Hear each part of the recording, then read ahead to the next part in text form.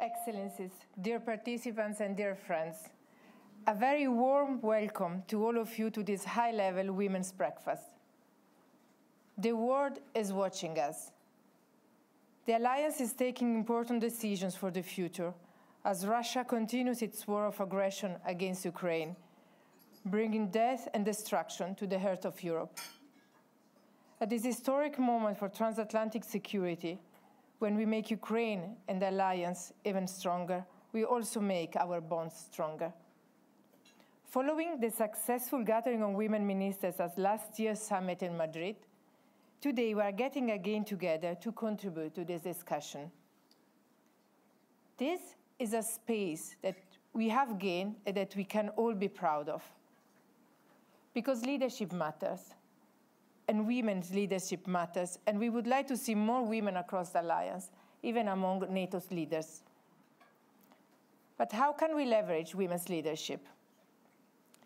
We have a collective responsibility to do more. We are here making the change that we seek, leading by example and inspiring women and girls to join us now and in the future. As we know, you can't be what you cannot see. Life is showing us how leadership manifests itself in a variety of ways, from politics to civil society. And this is why I'm particularly glad to have with us today a representative from civil society. Your strong leadership has paved the way for women's political representation and participation in peace and security matters. And you continue to be at the forefront of the women, peace, and security agenda every day. In this critical time for our security and for international peace and stability, as we are facing multiple security challenges, our voices and leadership are vital. It is only through our diversity and inclusivity that we can get a comprehensive understanding of the world and find the right solutions for longer lasting and more sustainable peace. This is why we are establishing here this unique space to exchange on imperative issues to transatlantic security. NATO is an alliance of democracies based on our common values, and at the same time, we are also building a new alliance between women leaders, political and non. Leadership matters, and I'm committed to continue to create and promote such, spaces for dialogue. It is together that we can expand and enhance women's voices in peace and security. This summit is making Ukraine stronger as we set out a vision for its future and reaffirm that Ukraine will become a member of NATO. It is only with the inclusion of women's leadership and voices that this support will bring the change and results we want to achieve. I would like to thank Lithuania and all those who have worked hard to make this event happen. And it is now with great pleasure that I give the floor to Victoria Čmilytė Nielsen, Speaker of the Seimas of the Republic of Lithuania. Victoria, the floor is yours.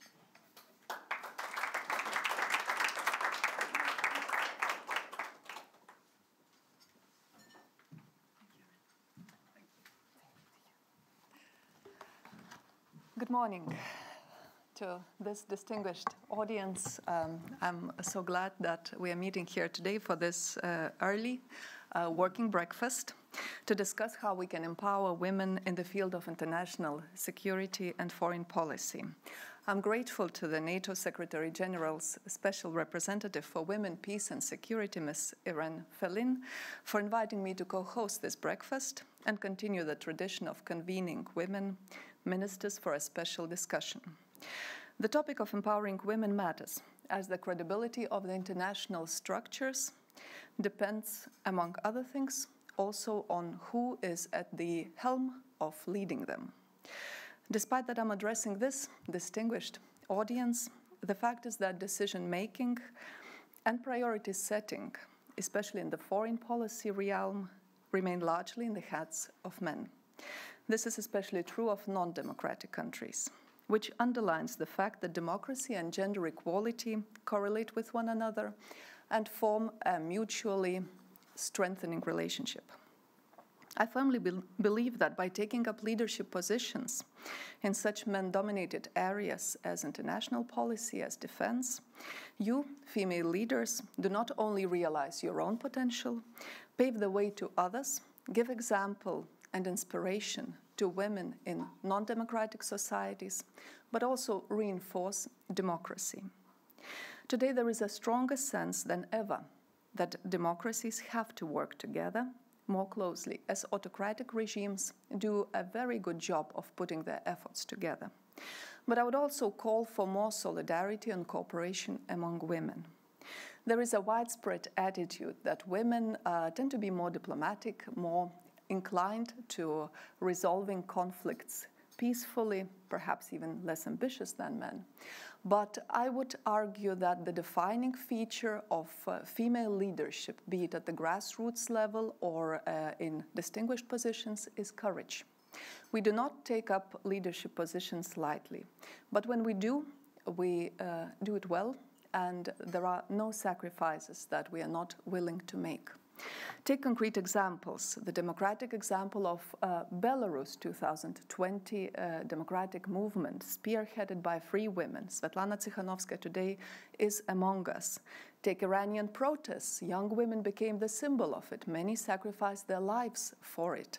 Take Ukrainian women. They are fighting alongside on the front line together with men. They are performing miracles of public diplomacy.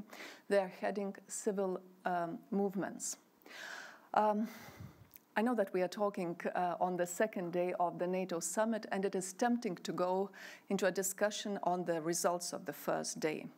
But let me say just this let's um, just make uh, a commitment that um, the decisions from yesterday are just a stage in a long process, and we will double our efforts to help Ukraine to make sure that those women who are suffering and putting enormous weight on their shoulders will get uh, as much help as we can offer them, being in the privileged positions that we are. So um, I would like to take this opportunity to call us not just for a theoretical discussion on women's leadership, but for a discussion on very practical steps on how we can do more than before. Thank you.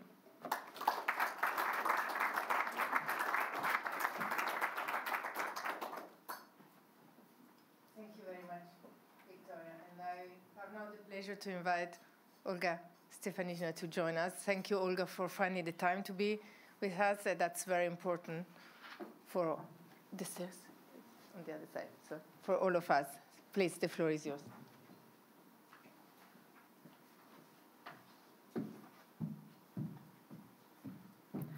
Thank you, Irene. Thank you, colleagues. Many, uh, many well-known faces. We've been meeting with many of you discussing various things. Of course, uh, here the major discussion has been taking place yesterday, and we have already seen a uh, decision of uh, of the leaders.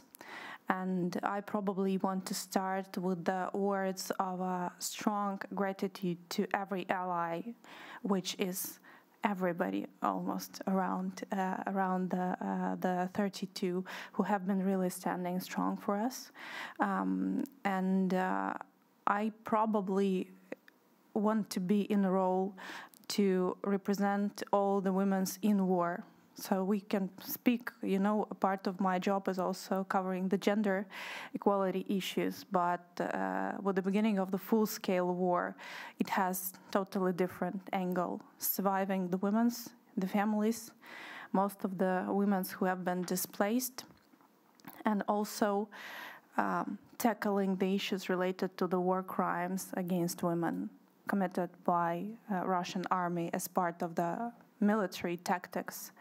And uh, we have been discussing it in different circles many times.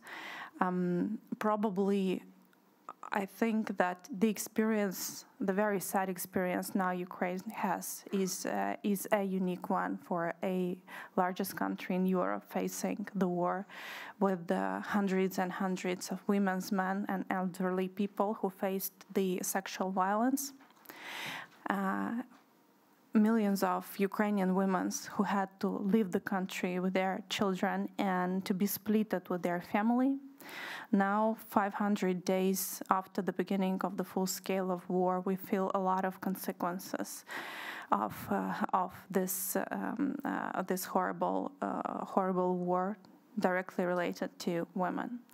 Um, but um, at the same time, uh, we did a lot in years before the full-scale war as part of the Women, Peace and Security Resolution, the action plans, our joint uh, work uh, within the alliance to leave no barriers for women in the armed forces. And now we have the situation with almost 40,000 Ukrainian women serving in the armed forces, and uh, many of them are on the senior positions, and many of them are on the front line. So we literally have no barriers for women in the armed forces, which is not the case for the, let's say, post-Soviet army format and uh, uh, and the thinking.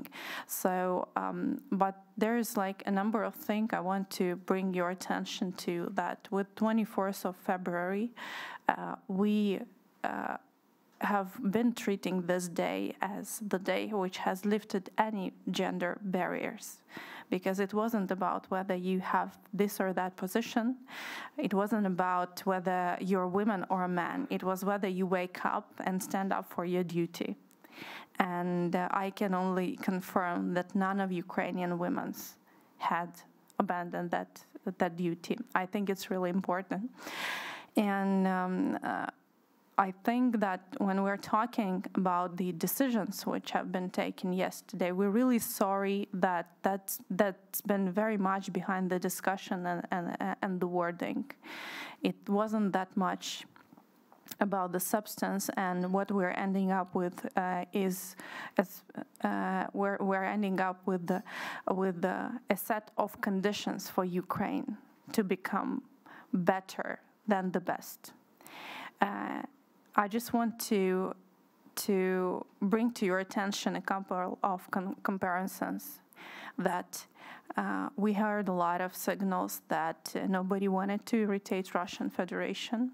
Nobody wanted to be clear, uh, those who, who were not in a position to think so, to clear in terms of uh, the decisions related to Ukraine's invitation to join uh, NATO, because it might affect the future negotiations and Ukraine might be traded in in the uh, issues related to the ending of this war uh, with Russia. We heard many, many things, but uh, it sounds very ridiculous to us because we are talking about the country which nearly failed to reach any of the declared goals of the war.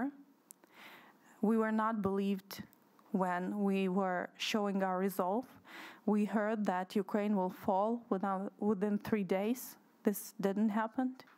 We heard that Ukraine will not be able to transform and reform itself while the war is raging on.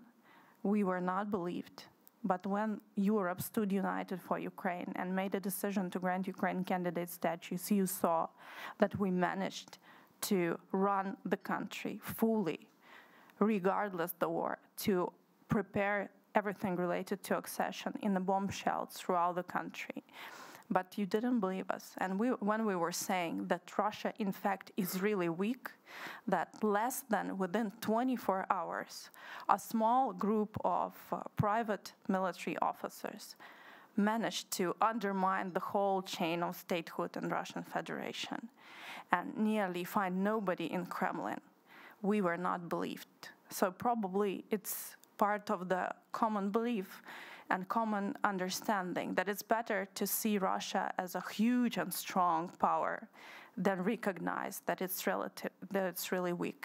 So so there are many things on a discussion and I just wanted to ask that keep on believing Ukraine. And when Ukraine says that it's really, really important that at this particular moment of time, when the hardest counteroffensive process and measures are taking place, when the uh, people are not able to come back to their countries, where we have survived the winter without light and water, when we still opening the survivor centers around the country, helping women, men, and other people in everything they might need to survive from, from the war.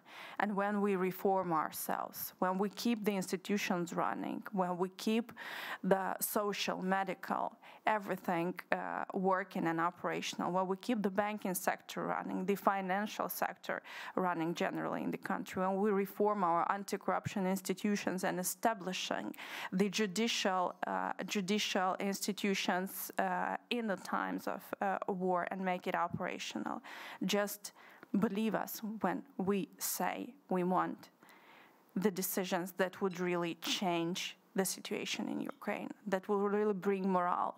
And I'm sure that we might be sorry of some things which have not been done, of something that Ukraine expected when we will be successful in ending the war and bringing all Europe and all Ukraine to victory. When we will keep on running the country, showing that we are strong despite of everything. Uh, probably it's also seen with the very fact that the first uh, the first area of responsibility I've been covering related to women's uh, never stopped being effective. All the infrastructure we managed to be, have been effective. All the women's received uh, support in the shelters. Uh, all the women's have been standing on the squares of the European cities and the cities across Atlantic, saying they need support, they need messages from the whole world, the messages of unity. So um, I'm really grateful to every one of you around this table. I know that uh, many of you step up and did the best you could. Sometimes it's better, sometimes it's worse. Ukraine is uh, Ukraine, and us as, as leaders, as political officials, as, as women in Ukraine, as mothers, there's no uh, negative feeling. It's just we feel that we could have done more and it really could have helped us back in Ukraine. It was needed for us, not against Russia, not because uh, because it's just the wish list. It was so much needed. And the first uh, information from our side we were receiving from the front line yesterday.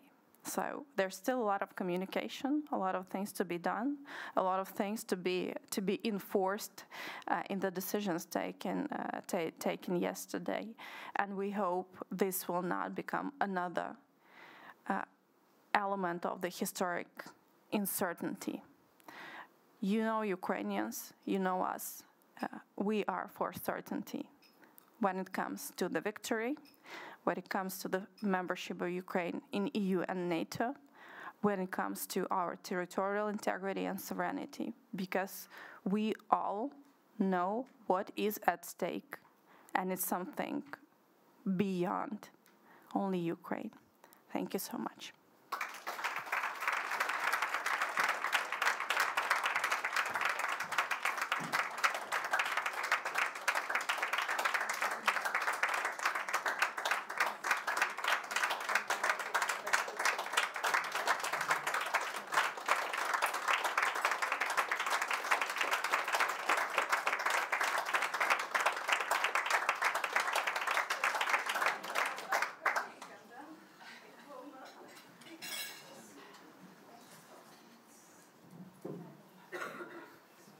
Thank you, Olga. Thank you for your words, your strength, and uh, for leading by example every day.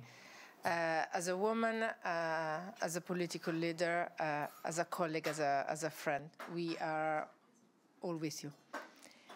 And uh, let me now uh, invite um, Yulia Kharashvili to come to the floor. Thank you for this opportunity. Excellencies, dear ladies and gentlemen, it's very difficult for me to talk about uh, uh, after after such an important speech, which comes directly to our hearts because Georgia also was suffering from several wars with Russia, and we very well understand feelings, and we very well understand how important is the support for Ukraine. I had the honor to be six years in Civil Society Advisory Council uh, for NATO, and I know how important is women leadership from my personal experience, because even bringing one of cases when during our CSAP meeting, Georgian IDP woman was kidnapped by Russian militaries, and Deputy Secretary General Rose uh, Gottemoeller personally was involved in her saving, and it was very important for us, and it was very important for her. In uh, 2015, after first Russian war against Ukraine, we civil society activists came together seeing how we can ensure support and solidarity with Ukrainian women and how we can support peace effort. At that time, we were thinking about peace dialogue, and we saw that complexity of problem requires involvement of whole region, of whole our countries, and all our powers from women from all post-Soviet countries. It was extremely important. That is how we created Women's Platform for Peace Dialogue. We had meeting recently, and Irene was there also in Tbilisi, and there were some messages also for international actors supporting us, and I will read few. First, support solidarity actions with Ukrainian women. That could be also done not only by our solidarity, by, but inclusion of women activists from our countries to all strategic meetings and negotiations, also at high level. And we saw today how important is women's speeches. Second, cooperate with and support civil society, women's organizations, groups, and women experts in all our countries where soft, so-called soft power and hybrid threats are now more and more intensive, and where women's organizations and civil society needs your support and uh, your, your involvement. Third, support women activists also from invisible countries, and I know that Mrs. Tikhanovskaya is here, and uh, Belarus and women activists, peace activists from Russia also are among these women who are strong, providing strong support to Ukraine. Finally, I want to say a few words about my country, Georgia. Yesterday, it was very difficult for me not to hear clear messages about Georgia, and we in Georgia wait also the signals.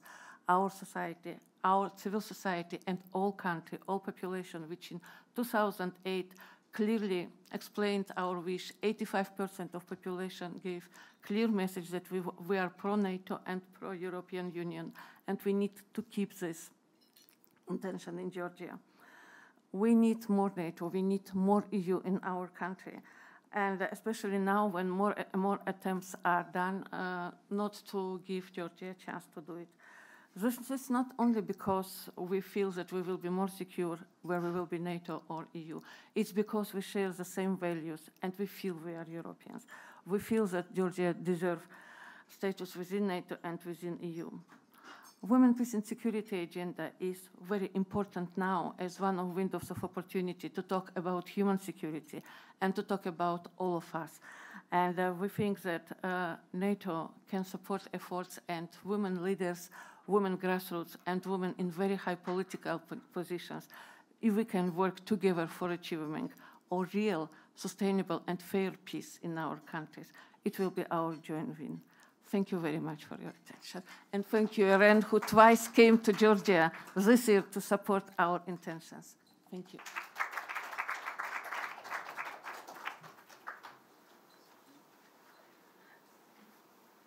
Thank you very much, Julia, for your words and uh, for being such a strong advocate uh, for women's rights and uh, for the women, peace and security agenda. It's now my pleasure to invite Hanna Shelest, the head of the security programs at uh, Ukrainian Prism, to join us. Uh, and uh, she's also, uh, as I said, the, the, director of security programs at the Foreign Policy Council Ukrainian Prism and editor in chief at Ukrainian Analytica. Hanna, please, the Thank you, Ren. Uh, Your Excellency, dear colleagues.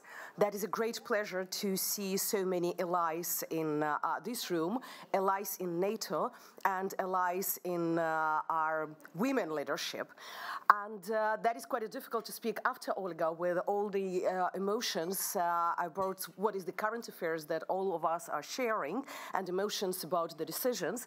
But at the same time, I would like to start from the statement that extraordinary times brings extraordinary leaders and extraordinary women. 2014 brought a lot of extraordinary Ukrainian women at the front lines uh, to the changes in the armed forces, uh, to the changes uh, in the uh, civil society, to the changes in the politics, because that was the extraordinary times when not only the war, but the revolution, the revolution of dignity, opened these opportunities. And after the nine years of war, unfortunately, we saw the results of this extraordinary, uh, um, extraordinary times times, extraordinary leaders, extraordinary women are coming to power. But at the same time, we really understood the leadership in terms of women leadership appeared not only purely about the percentage of the top uh, positions. Uh, especially after February 2022, we started to see extraordinary women who've been doing a very small but extraordinary reforms at the lower levels, at the uh, level of the villages, at the level of the communities, at the level of those territories that have been occupied, where uh, there were a lot of women in the resistance movement and leading the resistance movement against the occupants.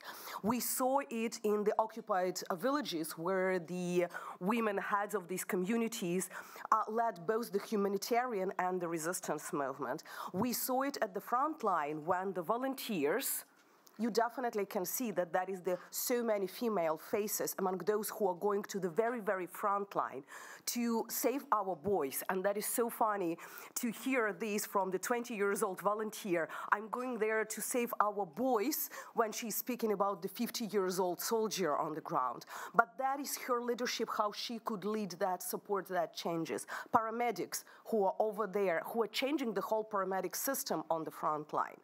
But at the same time, I don't want us women to be leaders only at the extraordinary times. And I would like us to be better prepared for the times when the changes are needed. So when we already started speaking about the reconstruction of the country, about development of the country, after the war, even that I don't like these words after the war, Russia and Japan are still in the war. So probably we need to think about the different wording for this, not to provoke uh, uh, the Russian Federation to continue this war as long as uh, they would like, not as it takes for uh, you to support Ukraine, but as they like. So definitely I would like us already to think how to include more women into the reconstruction, into the development, uh, in the changes in the country that will lead more women to the decision-making process at all levels, not only at the levels of the statistics, but also in understanding that the gender equality and the uh, gender agenda, it's not just about percentage or the quotas that we will have in the parliament or in the armed forces, but in the possibilities for the development. Yesterday we talked about how to, for example, make women to stay in the armed forces. Now we have, as Olga said, the 40,000 women with around 7,000 at the uh, officers and senior positions in the armed forces of Ukraine. Are we sure that we can have at least part of them still being in the armed forces if tomorrow we suddenly have a peace? How many of them would decide to return back and would like to be the leaders in the armed forces only during the extraordinary times of the war and crisis? Will we be able to have the same women um, being able to go to the politics or to the uh, local governance or to the other positions.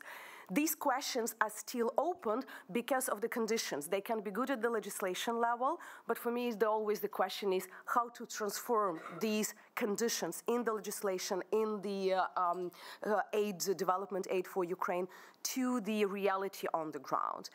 And uh, that's why uh, I will never stay between you and your coffee because my coffee is uh, getting cold as well. But I would like us just to call uh, all of us to think how to be the leaders not only at the extraordinary times, but how to create sustainable conditions to women during the war or after the war, not only in Ukraine, but in many countries, including the NATO allies countries, because I heard it from the, a lot of countries in the region as well, to be sustainable leaders in all those spheres where we occupy our positions. Thank you. And thank you for all the support for Ukraine within these years.